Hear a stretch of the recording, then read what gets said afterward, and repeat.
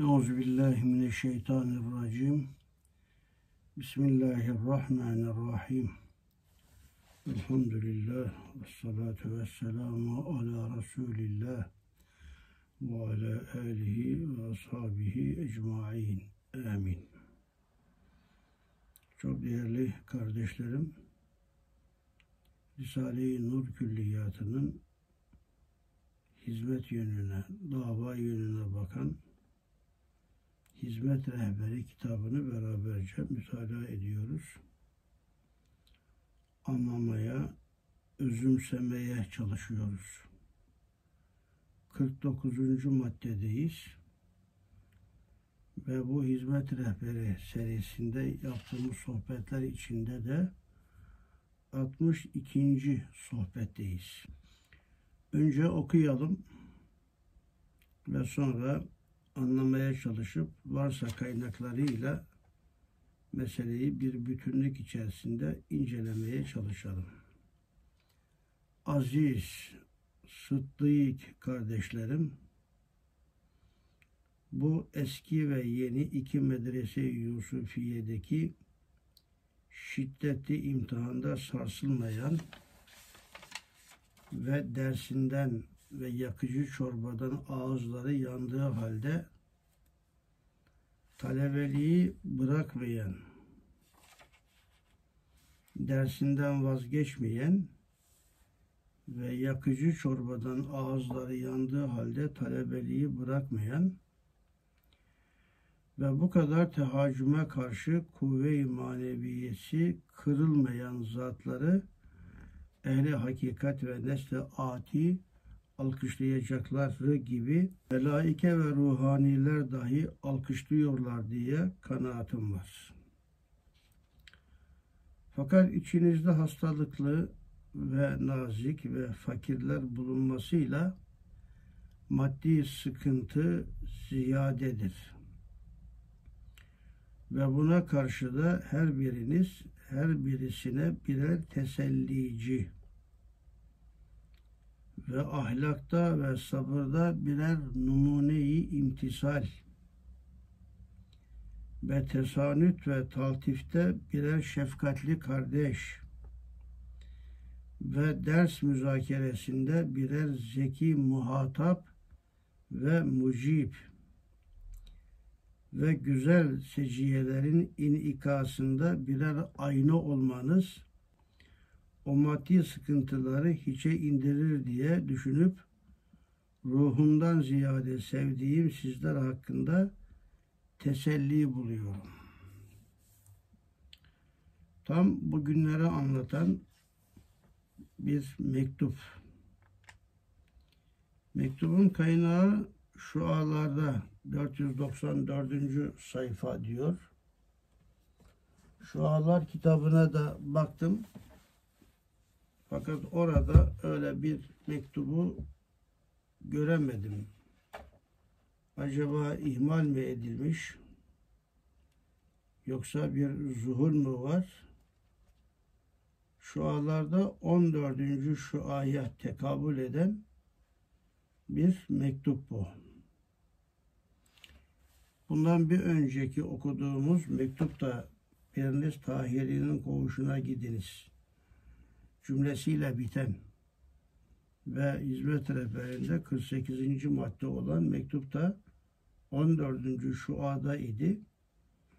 Bunlar burada peş peşe arka arkaya gelmiş ama fakat bu Şahtamar yayınlarındaki baskıda bu mektubu bulamadım ama böyle bir mektup olduğunu da çok iyi biliyorum.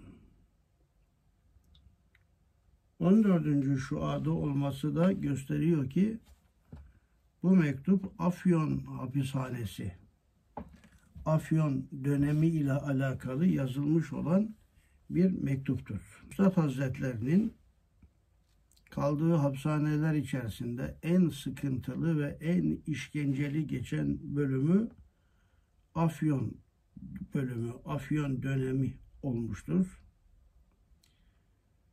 Neyse ki Afyon hayatıyla alakalı geniş bir malumat tarihçi hayatta vardır. Okumanızı tavsiye ederim. Aziz, sıddık tabiri üstadın çok sık kullandığı bir tabirdir. Ancak bu mektupta daha letafetli olmuştur bu. Hz. Yusuf Aleyhisselam'ın hapse düştüğü zaman Yusuf suresinde anlatılan bu kıssa içerisinde Mısır Azizi, Azizi Mısır tabiri geçer. Ve Hazreti Yusuf Aleyhisselam'a da aziz denir orada.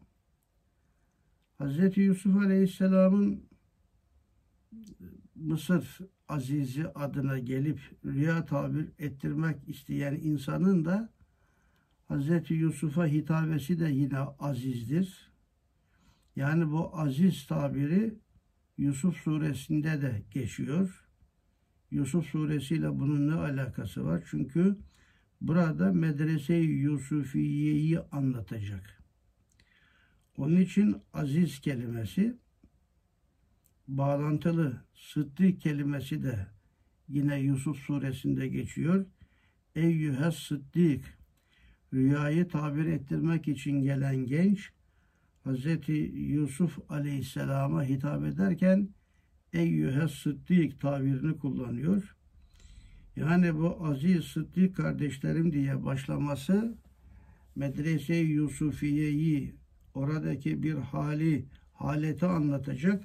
Onun için orada geçen tabirlerle başlaması da gayet e, zarafetli, gayet tevafukatlı, gayet manidar düşmüştür.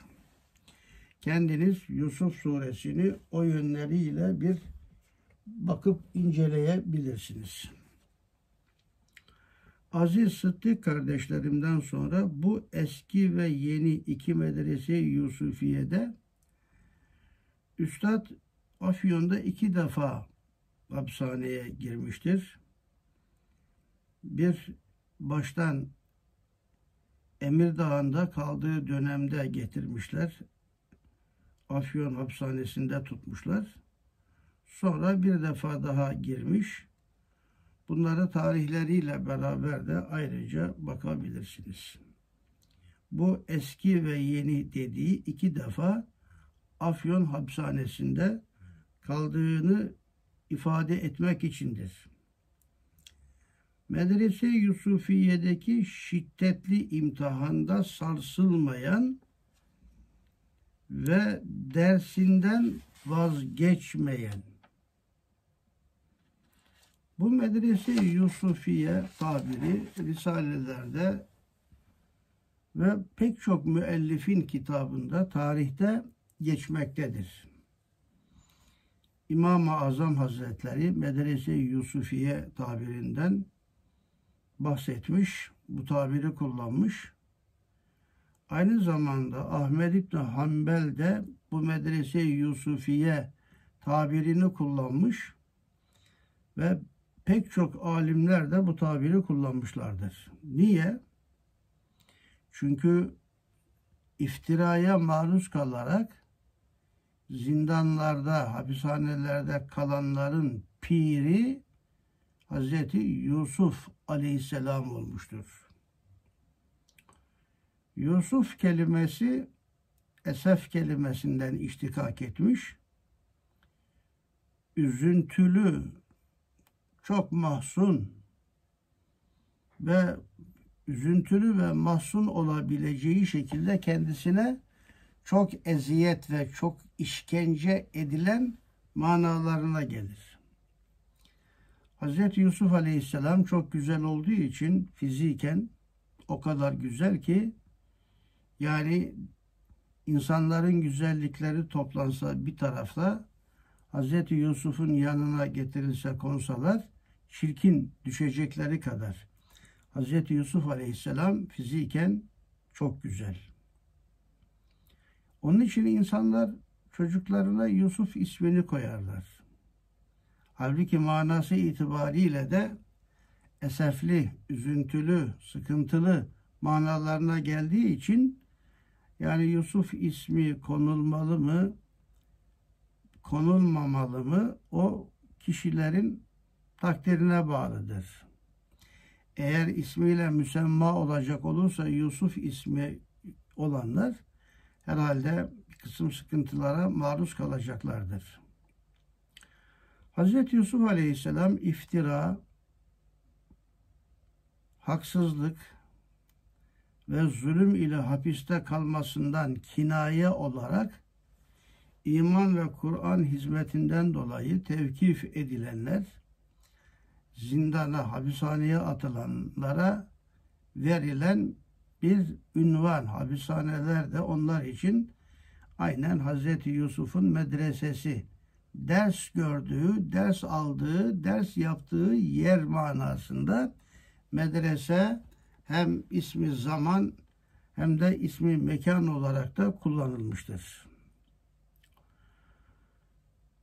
Bildiğiniz gibi Hz. Yusuf Aleyhisselam mahpusların piridir. Bir iftira yüzünden hapishaneye düşmüş, suçu yok. Kadın iftira etmiş. Bugün de hapishanede yatan kardeşlerimizin de hepsi birer iftira ile hapse girmişlerdir. Ve yedi sene kalmış Hazreti Yusuf Aleyhisselam ilk dönemde ve sonra kurtuluşu Allah'tan beklemeyip hapishanede iki tane genç rüya görmüşlerdi. Hazreti Yusuf'a çok güvendikleri için rüyalarını tabir ettirdiler. Tabir etti. Tabir etmeden önce davasını anlattı. Çok önemli. Her fırsatı değerlendirip kendinizi değil davanızı anlatmanız. İki tane genç Hazreti Yusuf'un karşısına gelip Hazreti Yusuf'a muhtaç olunca tam iyi dinleme, dikkatli dinleme makamlarında Hz. Yusuf Aleyhisselam da onlara Allah'ın varlık ve birliğini anlattı, anlattı, anlattı. Sonra kendisinin de suçsuz olduğunu ifade etti. Tabir ettiği gençlerden birisi tekrar saraya gidecek. Sarayda saki şarap dağıtacak. Bir tanesi de idam edilecek, öldürülecek diye yorumladı ve sonuç öyle çıktı. Saraya şarap dağıtmak için gidecek gence dedi ki bak gittiğin zaman Aziz Mısır'a söyle ki ben suçsuzum yani. Ve işte onun kurtuluşu o şarap dağıtan genç vasıtasıyla e, Aziz Mısır'dan beklediği için bir peygamber böyle beklememeli. Peygamber Hazreti İbrahim gibi ateşe atıldığı zaman o sebepler olarak meleklerin tekliflerine karşı ya benim ateşe atıldığımı Allah görmüyor mu? Görüyor. Bilmiyor mu? Biliyor. Allah'ımın gücü beni ateşten kurtarmaya yetmez mi? Yeter. Öyleyse benim meleklerin dahi yardımına ihtiyacım yoktur. Hasbunallah ve ni'mel vekil, ni'mel mevla ve ni'mel nasir çekmesi gibi aslında Hazreti Yusuf Aleyhisselam da benim bu gençlerin kralın yardımına ihtiyacım yok. Ee, Allah beni kurtarır diye hareket etmesi lazım gelirken işte çıkan gence benim masum olduğumu Aziz'e anlat demesi. Bu husus Kur'an-ı Kerim'de Yusuf suresi 42. ayette anlatılır. Ve işte sebeplerden beklenmesinden dolayı Cenab-ı Hak ona bir ceza daha verdi. Daha zaten yedi sene kalmıştı. Artı bir yedi sene bundan dolayı da kaldı. Felebise fissicini bid'asinin وَقَالَ لِلَّذ۪ينَ ظَنَّ اَنَّهُ نَاجٍ مِنْهُ مَذْكُرْنِي عِنْدَ رَبِّكِ فَاَنْسَاهُ الشَّيْطَانُ ذِكْرَ رَبِّهِ فَلَبِثَ فِي السِّجْنِ بِدْعَ سِنِينَ Yani onlardan kurtulacağına inandığı kişiye efendinin yanında benden bahset dedi. Yani burada masum olarak yattığımı ona söyle. Fakat şeytan ona efendisine Yusuf'tan söz etmeyi unutturdu. Dolayısıyla Yusuf birkaç sene daha zindanda kaldı. Birkaç sene daha bid'asinin daha önce de bid'asinin tabiri var. Yani 7 sene önce 7 sene daha kaldı 14 sene. 14 sene sonra temize çıktı. Kadın da itiraf etti. Ben iftira ettim diye. Ve sonra Maliye Bakanı ve sonra devlet başkanı Mısır'ın hakimi oldu. Hatta o kadar zirveye çıktı ki mesela Mısır tarihinde 163 firavundan bahsedilir. İşte bu kadar e, firavun var. Bu firavunların içerisinde inanmış olan kimse Hazreti Yusuf dönemindeki devlet başkanı yani lakabı Firavun olan kimse Hazreti Yusuf'a Hazreti Yusuf'un getirdiği esaslara iman etmiştir. Hazreti Yusuf daha sonra öyle bir hakimiyet kurmuş ki hem maddi hem de manevi aziz Mısır olmuştur. Bu medrese Yusufiye'de kalanlar Üstadın burada şimdi az sonra anlattığı hususlara riayet ederlerse az sonra okuyacağız. Burada tek tek tek tek tek tek sayıyor. Yani yakıcı çorbadan ağızları yandığı halde önce imtihanda sarsılmayacak. Dersinden vazgeçmeyecek. Yakıcı çorbadan ağızları yandığı halde talebeliği bırakmayacak ve bu kadar tehacüma karşı kuvve-i maneviyesini kırmayacak. Bu şartlarda bugün de aynen o kardeşlerimiz de iftira atılarak şu anda zindanlarda kalıyorlar. 5 senesini dolduran, 6 senesini dolduran, 7 senesini dolduranlar da var. Yol bu yol demek bazen. Ve eğer bunlar burada anlatılan şartlara riayet ederlerse ki ettiler, oradan çıkacaklar. Hazreti Yusuf gibi ileride daha büyük makamlara hem maddi hem manevi makamlara inşallah ulaşacaklardır. Hazreti Yusuf Aleyhisselam'ın zindanda kalması onun yükselmesine sebebiyet vermiştir. Ve aynı zamanda zindandakilerin hidayetine de, pek çoğunun hidayetine de sebebiyet vermiştir. Bugün Türkiye'den bazı tanıdığım arkadaşlar telefon çekiyorlar. Kalmışlar zindanda. Çok güzel haberler duyuyorum. Yani yanlarında, koğuşlarda bu askerler var, inatçı kimseler var, adam öldürmüş girmişler var, hırsızlar var. Orada tabi gardiyanlar var, müdür var. E bunlar da en nihayet insan. Ve Mısır Firavun'un emrini yerine getirdiklerinden hapse düştükleri gibi Hz. Yusuf'un bunlar da bir Firavun'un emriyle zindana düşmüşler. Ama zindanda bu genç kardeşlerimizle yatanlar şu anda Türkiye'de hepsi diyor ki ya sizden terörist mi olur? Yanlışlık var bu işte. Gece hayatı, kitap okuma, Kur'an okuma, her gün işte aralarında taksim ederek hatimler yapan kardeşlerimiz ya sizden terörist olmaz ben sizi böyle tanımıyordum deyip şu anda yüzlerce belki binlerce zindanlarda kardeşlerimiz sayesinde ıslah olanlar var. Yarın bir gün şartlar değiştiği zaman bu zindandan çıkan diğer insanlar da arkadaşlarımızın masum olduklarını mutlaka anlatacaklardır. Ve böylece geleceğe dönük farklı bir yükseliş olacak. Hz. Yusuf Aleyhisselam önce Maliye Bakanlığı'na ve sonra Aziz Mısır ufkuna hem de Firavun da kendisine iman ederek sonra ona işkence eden kardeşleri de geldi, af diledi, özür dilediler. Annesi babası da geldi ve böylece hem bir rahatlığa, huzura, mutluluğa hem de eski iftiralardan kurtularak manen temizliğe ve maddeten ve manen bir zirveye ulaşma. Hz. Yusuf Aleyhisselam'ın medresesi ve sonrası işte bu manaları ifade eder. Hz. İmam-ı Azam da çok medreselerde, medrese Yusufiyelerde kalmış.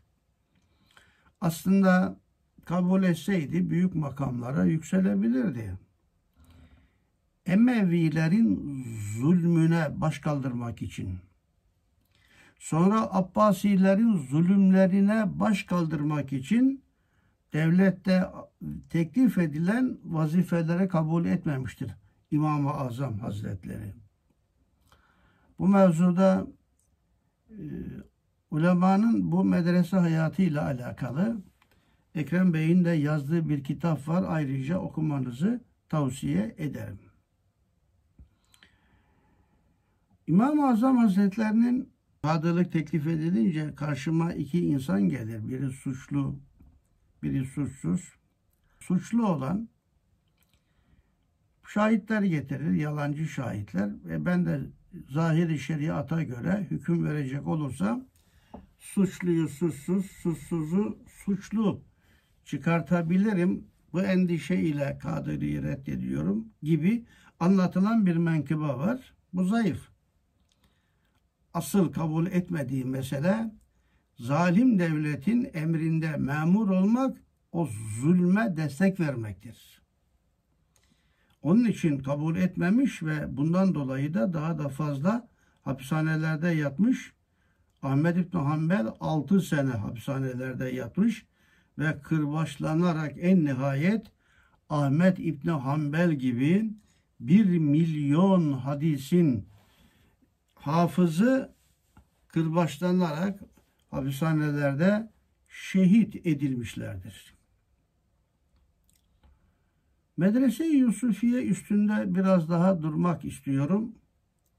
İnsanları yalnızca Allah'a kulluk etmeye ve güzel ahlaklı olmaya çağıran samimi Müslümanlar için hiçbir suçları bulunmadığı halde zaman zaman yaşamak zorunda bırakıldıkları hapishaneler, manevi açıdan çok güzel bir eğitim ve nefsi terbiye yeridir. Kişi hem kendisi orada olgunlaşır, nefsini terbiye eder. Hz. Yusuf Aleyhisselam'ın nefis terbiyesi orada zirveye çıkmıştır. Ve çıktığı zaman da Aziz Mısır makamına yükselir. İşte müminler için hapishaneler bu manada birer medrese-i Yusufiye hükmündedirler.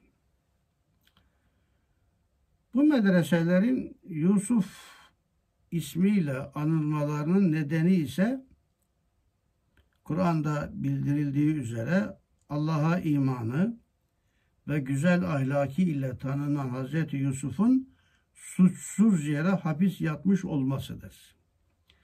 Hazreti Yusuf kendisinin suçsuz olduğuna dair deliller apaçık ortada olmasına rağmen Allah'ın dinini anlatan bir insan olduğu için iftiraya uğramış, ardından hapse atılmış ve yıllar yılı hapishanelerde kalmıştır.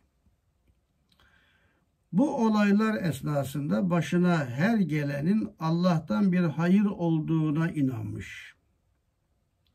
Hapiste dahi tebliğ vazifesini devam ettirmiş diğer mahkumlara karşı iyi örnek olmuş, Allah'ın varlığını ve güzel ahlakı diğer mahkumlara da anlatmış, hapis hayatı boyunca asla bir şikayette bulunmamıştır. İşte onun bu tavrı kendisinden sonra gelen müminlere, bütün Müslümanlara da güzel bir örnek teşkil etmiştir. Evet Hazreti Yusuf'tan başka İmam-ı Azam, İmam Ahmed İbni Hanbel ve yakın tarihimizde bu mevzuda en zirvelerden bir tanesi Üstad Bediüzzaman Hazretleri de Allah'ı ve dini inkar eden, müminlerin samimiyetlerini takdir edemeyen kişiler tarafından, devrin deccalları tarafından hapishaneye atılmışlardır. Üstadın 28 senesi hapishane bağlantısı içerisinde geçmiştir.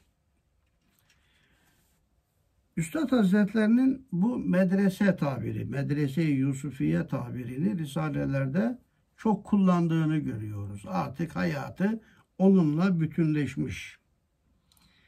Deniz Hapishanesi'nde yazdığı Meyve Risalesi. Hapishanede yazılan bir risale. 11 meyve. Orada üstadın idamı da bekleniyordu.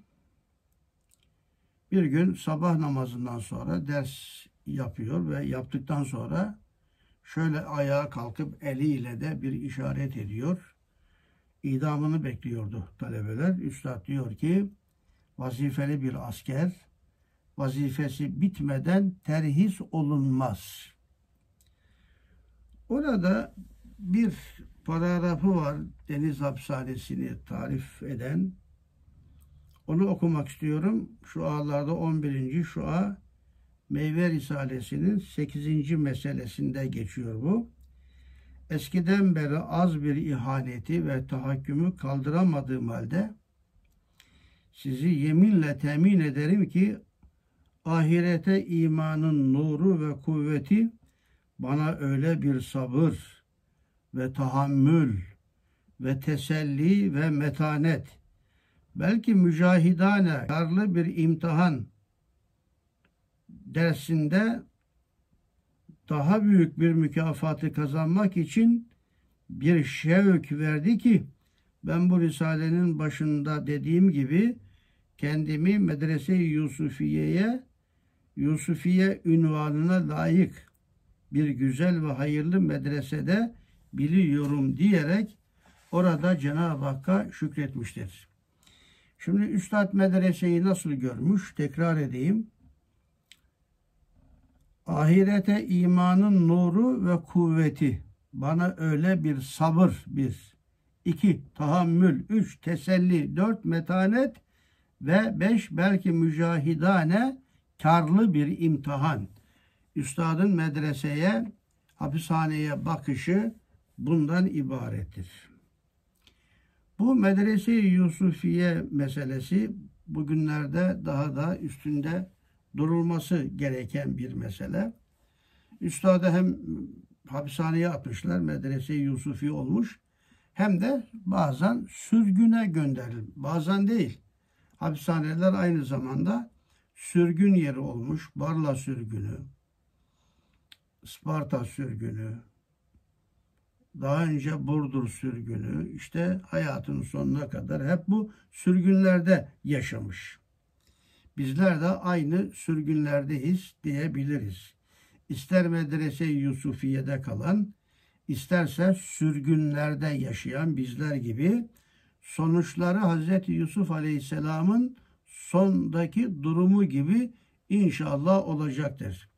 Bu adamlar pişman olacaklar. Hoca Efendi'nin de dediği gibi gelip özür dileyecekler.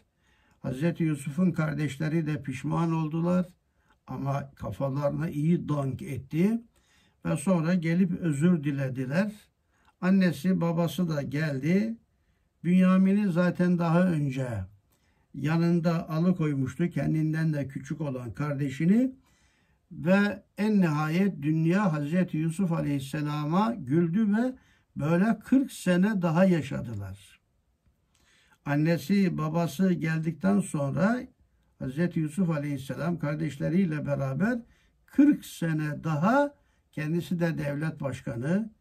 Firavun da iman etmiş kendisine. Mana aleminde sultan çünkü peygamber 40 sene daha yaşadı.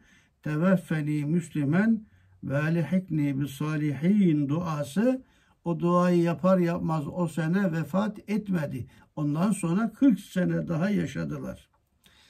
Camilerde bazı müezzinleri hatırlıyorum. Hani duaya ellerimizi kaldıracağımız zaman bir ayet okunur. Sonra dua, eller duaya kalkar. Bazı müezzinler teveffeli müslümen ve alihikni bis salihin okurlar. Bazı müezzinler de okumaz. Bir müezzin veya müezzinlerin sohbetinde duymuştum. Niye okumuyorsunuz dedim. Dedi okursak ölürüz daha ölmek istemiyoruz da ondan.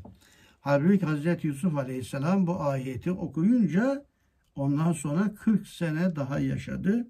40 sene daha en az yaşamak istiyorsanız Teveffeni Müslümen ve elhekni bis salihin ayetini de okumak lazımdır dua makamında.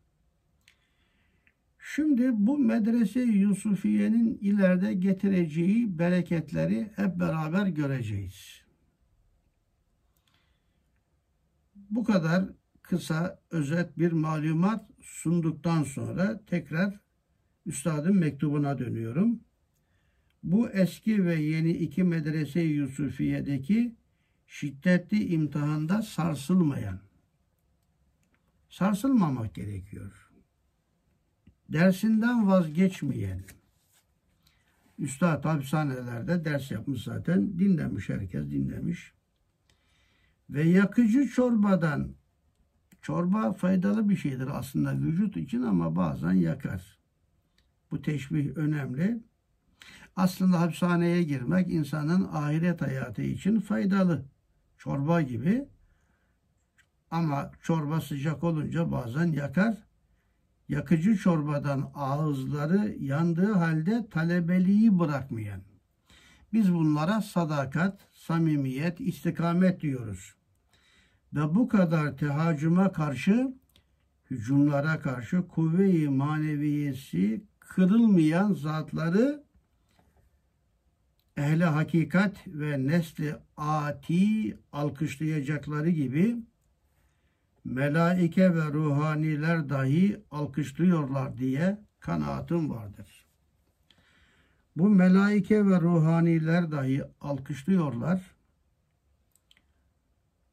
O dönemde görülen pek çok rüyaya binaen üstad söylemiş. Günümüzde de bu ve buna benzer bir hayli rüya anlatılıyor. Yani ahiretteki hesaptan kurtuldukları, melaikelerin, ruhanilerin, yeryüzünde seyyahin meleklerinin o zindanda, hapishanede ders yaparken, namazdan sonra namaz kılıp tesbihat yaparken, o seyyahin melekleri orada nöbet değiştirirken rüyalarında görenler yüzlerce onları alkışladıklarına dair de rüyalar vardır. Ama sohbeti kayda geçiyorum. Yani YouTube'da dağıtınca hala bunlar böyle rüyalarla meşgul diye bazı zavallı bu işten haberi olmayan kimseler tenkit ettikleri için rüyaları duyduğum rüyaları tafsilatıyla şu anda anlatmayacağım.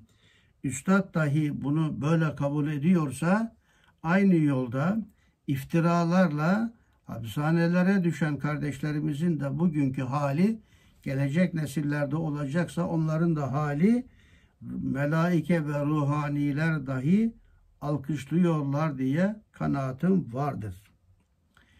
Üstadın bu paragrafında hapishaneye girmiş kardeşlere karşı o zaman bir değerlendirme adeta tebrik manasında ama fakattan sonra içindeki bir şefkati ifade ediyor.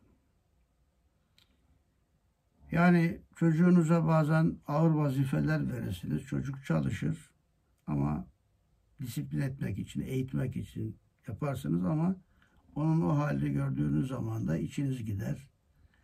Acırsınız ona.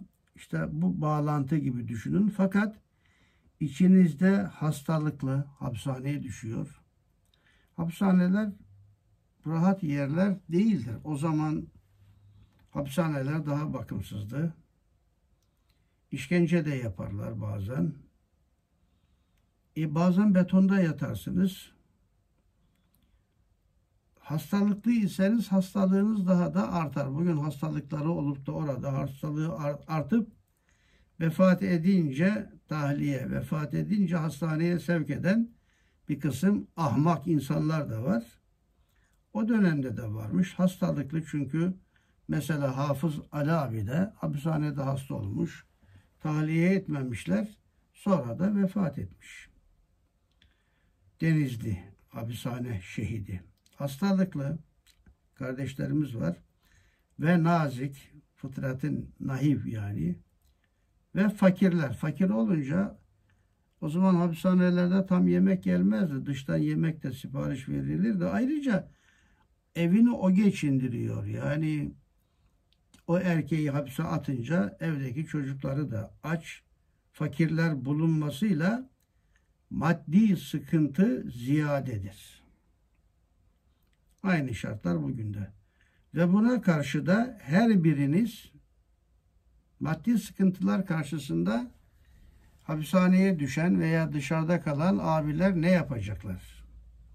Her biriniz her birisine birer tesellici. Bu tesellici olma burada ısrarla geçiyor. Mektubat dersleri yapıyorum. Bugünlerde siz de YouTube'da görüyorsunuz. Tesellici Efendimiz Aleyhisselam'ın da bir ünvanıdır. 19. mektubun 16. işaretinin birinci kısmının üçüncü hüccetinde peygamberlerin ve semavi kitapların Efendimiz'den müjde verdikleri bahisler içerisinde bendeki kitaba göre 192. sayfada yine İncil-i Yuhanna 16. bab ve 7. ayeti şudur. Hz. İsa Aleyhisselam şöyle diyor. Ama ben size hakkı söylüyorum. Benim gittiğim size faydalıdır. Zira ben gitmeyince tesellici size gelmez. Demek Efendimiz Aleyhisselam'ın isimlerinden, vasıflarından, sıfatlarından, lakaplarından bir tanesi de tesellici olmasıdır. Onun için Kur'an-ı Kerim'de müminlere çok büyük teselliler vardır.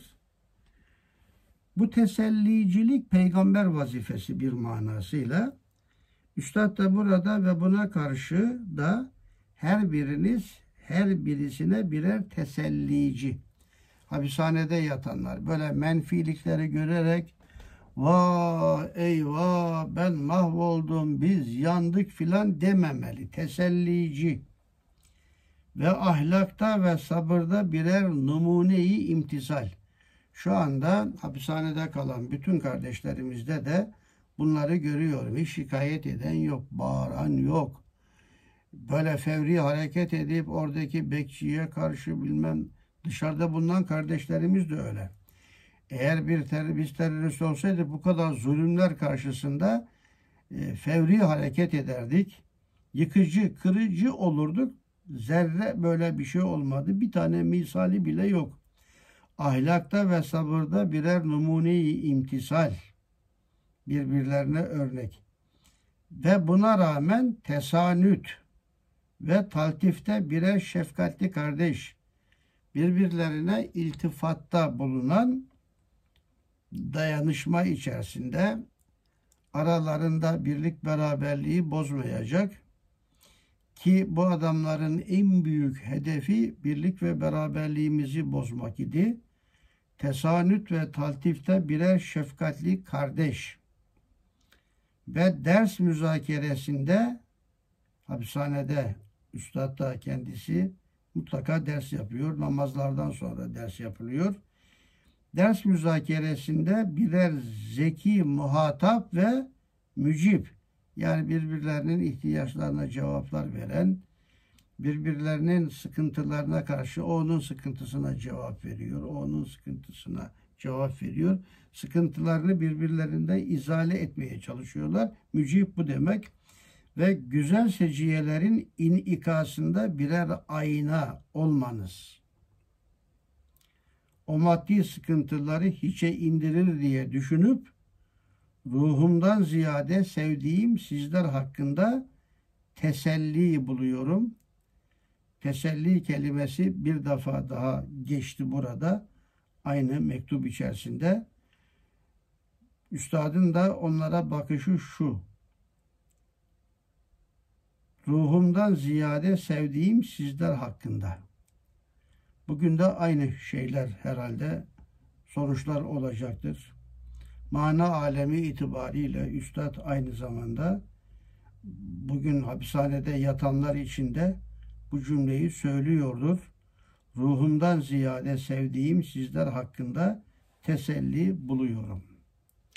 Değerli kardeşlerim bu hapishane ve hapishane içindeki insanlarla alakalı olsa da hizmet rehberini okuyoruz biz yani. Belli prensipler, belli ölçüler, usul uslup bu mevzuda biz de öğreneceğiz. Bunlar bizim için hizmette temel ölçüler olarak yaşayacağımız prensipler olarak tekrar kendiniz madde ve madde sayıp bunları ezberlemelisiniz. Bu sadece hapishanede yatanlar, iftiraen, masumen yatanlar için değil, dışarıda hayatımızın dışında hizmet içinde de aynen bu maddeleri yapmamız, yaşamamız ve buna göre hizmet yapmamız gerektiği ayandan ayan, beyandan beyandır. Birbirimize tesellici olmak, ahlak ve sabırda birer numune imtisal olmak, hiçbir zaman tesanüdümüzü bozmamak ki bu bir önceki derste daha açık geçti. Daha önceki derslerde çok geçti. Birbirimize daima iltifat etmek, şefkatli davranmak, ders müzakeresinde birer zeki muhatap olmak, birbirlerimizin ihtiyaçlarına cevap vermek ve güzel seciyelerimizi birbirimize aksettirmeliyiz, aynı olmalıyız ve bütün bunlar da bizim maddi sıkıntılarımızın da hiçe inmesine vesile olacaktır. Ayrıca o günlerde böyle bir organize yapma imkanı yoktur ama bugünlerde hani imkanı olan dışarıdaki maddi imkanı olan arkadaşlar da içeride yatanlara, yatanların dışarıdaki ailelerine de muavenette mutlaka bulunması lazım. Bu muavenet Maun suresiyle de beraber ele alın. Eğer müminlere muavenette bulunmuyorsanız veya bir de bazıları onları engellemeye çalışıyorsa onlar namaz kılsalar bile yazıklar olsun onların kıldığı namaza manasında Eraeytellezî yükezzibu biddin fezâlikellezî yed'ul yetim Bugün yetimler de var. Bunun üstünde çok durun. Bildiğiniz, tanıdığınız bu hizmet içindeki özellikle arkadaşlardan annesi babası Meriç'te boğulmuş, denizde boğulmuş, hapishanede ölmüş, yetim kalmışlar varsa özellikle onlarla meşgul olmanızı tavsiye ederim.